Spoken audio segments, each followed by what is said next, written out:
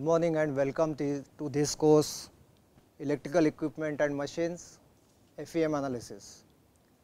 Now, this is a NPTEL MOOC course exclusively devo devoted to finite element analysis and its application to electrical machines which is static and rotating machines as well as some other equipments like high voltage uh, you know devices. Now, all these devices that we are going to analyze by using FE analysis in this course, they are used in generation, transmission and distribution of electrical energy. Now, what are we going to study in this course? The focus will be on principles of electromagnetics relevant to finite element method. Now, electromagnetics is a vast subject and we are going to only focus in this course on low frequency electromagnetics and to that extent we will cover some basics of electromagnetics which are relevant to FEM analysis of low frequency apparatus. I will also you know suggest those who are uh, uh, new to electromagnetics, they can quickly you know uh, see this website at leisure time which is a virtual electromagnetics lab. The address is mentioned here. It is uh, you know if you just type VEL IIT Bombay, you will get this link and then you can uh, you know see many uh, software experiments and related theory mentioned in each of these experiments with interactive you know mode like you know for example, if you click these buttons you will get the field plots with the relevant explanations below. So, those uh, who are not so well in uh, basics of electromagnetics, they can either read any book on basic book on electromagnetics or you know uh, refer any such web based material like virtual lab and upgrade themselves. But they need not worry too much because I am going to cover in about 6 half an hour lectures all the basics of electromagnetics which is required for this course. So, that will bring all of us on same platform and that that will be good I think. Then in the second fo focus will be on development of theory of finite element method and the corresponding procedures. Now, procedures that we are going to see are basically for one dimensional and two dimensional problems. Three dimensional problems can also be solved by developing our own codes, but the amount of computational efforts in terms of coding and not from the point of view electromagnetics are quite high when you do coding for three dimensional FEM analysis. So, we are not actually going to develop 3D codes as part of this course. For that many commercial softwares are available and they are best suited to solve your practical 3D problems.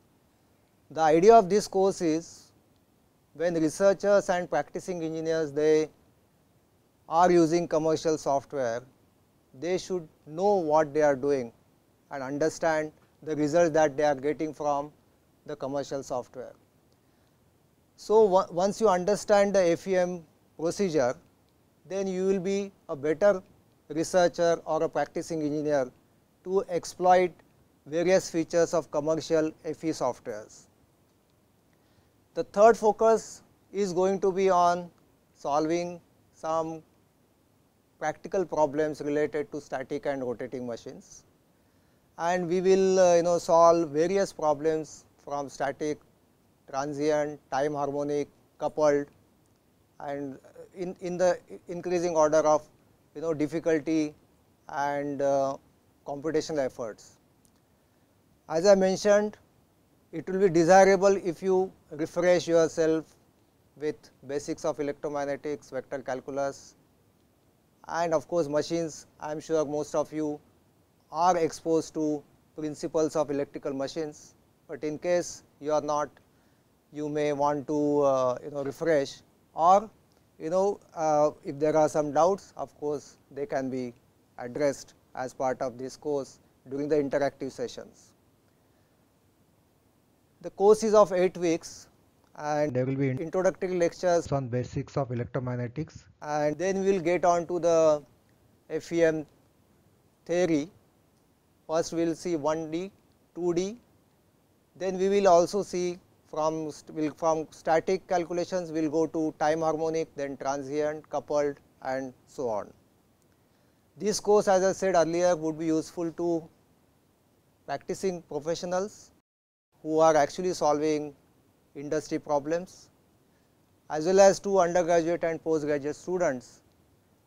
To undergraduate students they will understand the potential of this finite element method and suppose if suppose they go on further to do research, take the research career or join industry, they would be in position to use this tool effectively. Postgraduate students of course, many PhD students who are dealing with electrical machines and apparatus, they have to design, optimize, improve performance of this equipment and for such reasons they will come across at some point of the time with this finite element method and I am sure this course would be useful to them. Now, you know what is the need for FE analysis? Now, this finite element method amongst all numerical techniques is one of the most popular techniques for particularly low frequency. For high frequency electromagnetic analysis, for example, when you are analyzing antenna and waveguides, particularly antennas where uh, you know you have open boundary problem, there the integral equation methods like method of moments are more useful. But here since our focus is on electrical machines and we have bounded structures typically, you have you know finite element, finite difference, but among these finite element has emerged as most popular and we will concentrate in this course only on finite element method. As I said this is being used extensively by researchers and industry. Many commercial FE softwares are available and wh why finally computation of electromagnetic fields is essential. Initially when uh, computational tools were not advanced, the designers of electrical machines they used to have analytical formulae, thumb rules or curves derived, derived based on experimental data and then they used to you know design machines. But you know that there used to be always some kind of factor of ignorance and that factor of ignorance can be minimized by using numerical techniques like finite element method. Using finite element method you can exactly know the field distribution and the stress levels. Stress when I mean stress stress could be electromagnetic stress, it could be thermal stress, it could be structural stress, it could be you know any other stress related to engineering field. And although we are going to discuss here only electromagnetics and coupled systems, as you are aware finite element method is equally applicable to uh, other domains of engineering and in fact, it was first well developed and initiated for structural engineering and then it got adopted and adopted for electrical engineering and electronics engineering.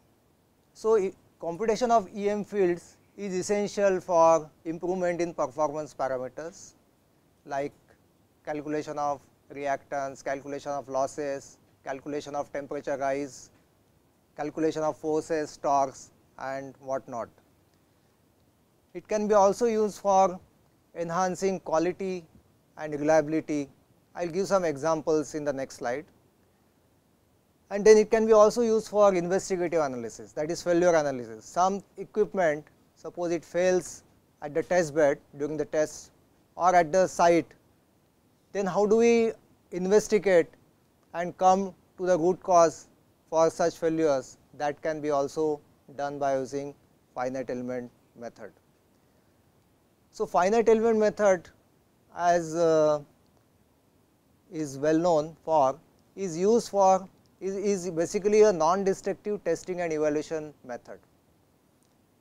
That means, we are not actually physically stressing the machine, we are actually simulating or emulating a given device in that finite element software and then actually subjecting that machine to stresses and in that sense it is non destructive testing and evaluation. And this has obvious advantages because you know if it is a very costly device like a large generator or a large transformer costing few uh, you know crores or millions of dollars, then it is not possible to you know completely design, build, test that equipment and then find out oh there is some mistake and then do rework that rework would be very costly. Or you know in today's world where there is there is a global competition and competition is very cutthroat you need to optimize the material cost and again you uh, have this FEM coming to your rescue. Now, one of the first applications as I mentioned of FE analysis is parameter estimation of any device that you are simulating. Now, here is the case of a transformer which uh, all of us know and is the equivalent circuit of the transformer. Now, this equivalent circuit has many parameters right and these parameters generally we have studied in uh, our basic course on electrical engineering. We basically based on the theory of transformers we evolve this equivalent circuit. But to a practical designer this equivalent circuit is a result of design and uh, test. That means, this equivalent circuit is of practically of no use to a practicing designer who wants to design a transformer, this equivalent circuit can be derived based on test and design data. So, what is required for a designer or a person who is trying to optimize a product like transformer, he needs to understand each of these circuit parameters in depth. Now, when we actually are writing these reactances and resistances, we are already doing some approximations. Like when we are actually uh, talking of reactance and we are calculating by some formula, simple analytical formula, we are approximating like that the, the flux is entirely axial, there are no you know leakages at the end or there are no you know ampere turn uh, per mm imbalances and what not. So, we basically tend to assume things which make analytical formula application possible right.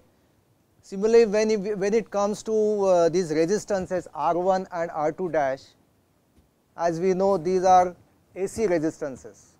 So, it is basically DC resistance of winding plus skin and proximity effects they add to or they lead to what is known as AC component of resistance. And believe me to understand and compute this AC resistance in a practical device, it requires thorough knowledge of uh, Maxwell's equations, theory of eddy currents, which we are going to see in this course. Similarly, you know if you see this uh, shunt branch of this equivalent circuit, which shows magnetizing reactance Xm and core loss resistance RC. Now, these, these two parameters are also they are extremely demanding in terms of understanding field behaviors and governing electromagnetic fields. As you we know the ferromagnetic material that is used in core material of static and rotating machines, it exhibits it exhi that the material exhibits hysteresis characteristics. So, there is not, not only there is a non-linearity, but there is remanence and uh, hysteretic behavior. So, in order to address this behavior and be able to take into account into your numerical method, it requires a lot of understanding of uh, basics of electromagnetic fields, basics of material science basics of governing physics. As I mentioned here, this is a typical leakage field plot of a transformer. This is a transformer window, core window and I am showing only one uh, you know set of windings that means there are other set of windings on the other side. So, this is the low voltage winding and the high voltage winding is in two parts with taps. Now, because of these taps and because of this gap which happens because some turns may be out of the circuit, you can see here the, the leakage field is basically turning here in this gap and there is a corresponding radial component of field in this zone. That makes the calculation of reactance as well as the eddy current losses in the windings difficult by using standard analytical formulae. And here again that is why you need to use a numerical technique like finite element method.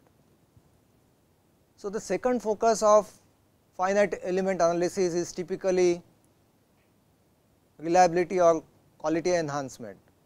So, here you know I am showing uh, a typical you know um, high voltage lead to ground arrangement in a, a typical high voltage equipment.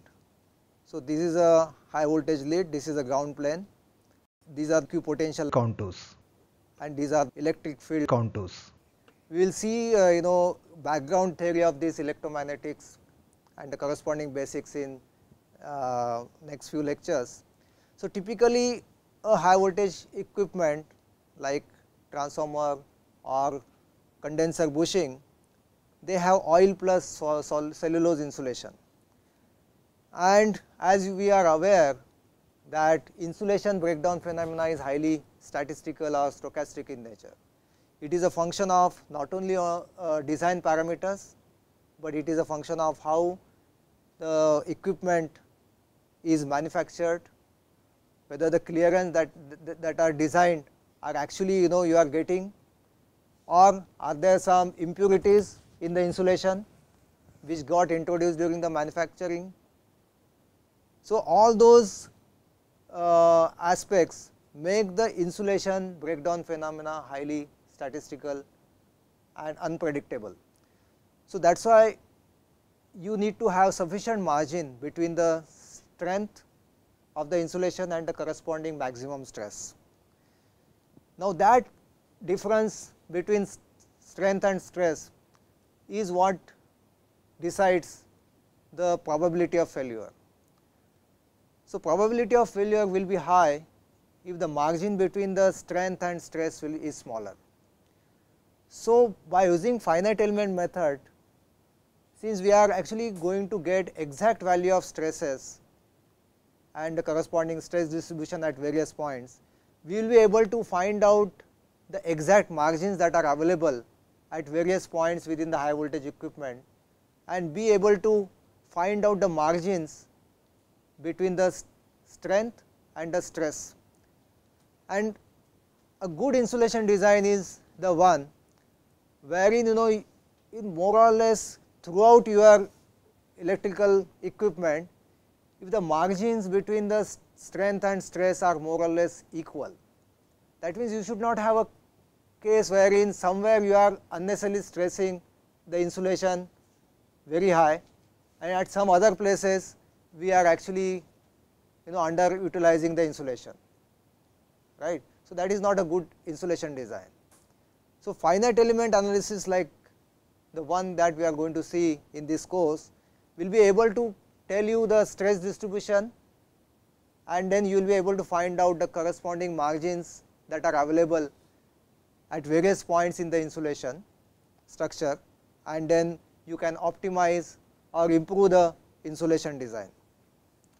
So, in case of uh, such typical high voltage equipment you have oil and cellulose insulation and then you can actually. So, there are as shown here there are two cases. One is the bulk oil stress wherein this is the oil between the high voltage lead and the ground and that is getting stressed. And then you have to find out the maximum stress which occurs at this point at the surface of the lead.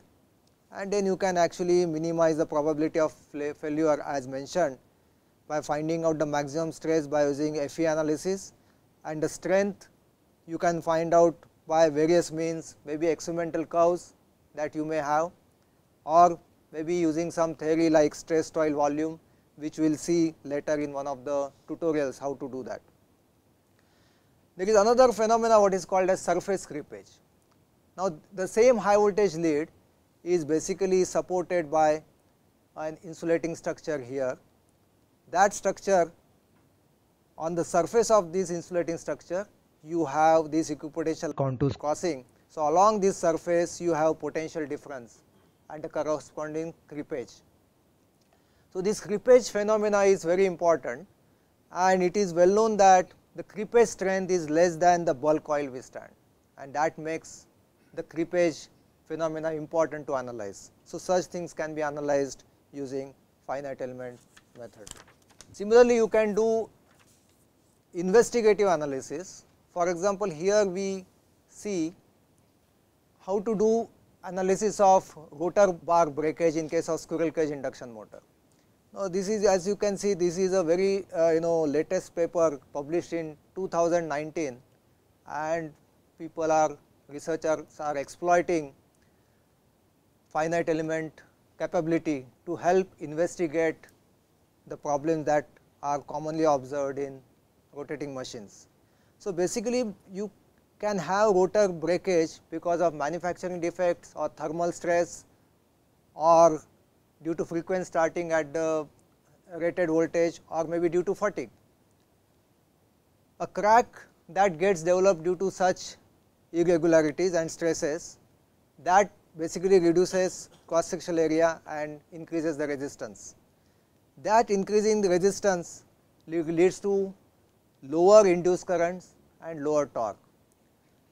Now, what one can do is by a series of FE simulations wherein you can emulate the increasing crack by increasing resistivity.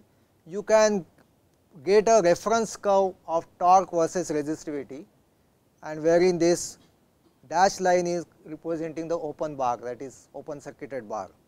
So, once you get this kind of curve and now you have test results of a machine having such expected problem, you can basically verify this with the reference curve and be able to predict the, the level of problem in case of the analyzed machine. So, with this introduction we will see the briefly the course outline. The course outline is basically we will cover first revisiting, we will revisit some important concepts in electromagnetics. We will study finite element theory, 1D and 2D predominantly and the corresponding procedures for 1D and 2D. Then FEM coding using freeware software. So, now what are the freeware software that we are going to use? So, one of course is going to be you know Scilab which is you know equivalent of uh, MATLAB. Those you know participants and uh, uh, those who have registered for this course, if they have MATLAB or any other commercial software, they are free to use that, but those who are not having such commercial softwares, for them we are also giving the option of using Scilab as part of this course. Then there, there is something called as Gmsh, which is a meshing software that also we will see how to use that in conjunction with Scilab to develop your own 1D or 2D codes. Then we will cover FE analysis for electrostatic, magnetostatic, time harmonic, transient, nonlinear problems as well as for machines involving permanent magnets, voltage and current coupled devices and so on. And then as I said we will also see tutorials and case studies involving computation of inductance, force, torque, inrush current, eddy current losses and so on. These are the reference books for this course. If you really see this list of books, of course, there are many books available, but uh, during my uh, academic and research career, I have mostly used these books. So, the first book by Professor Sadiku is on uh, various numerical techniques particularly useful for low frequency electromagnetics. So, in books also you will find two distinct set of sets of books.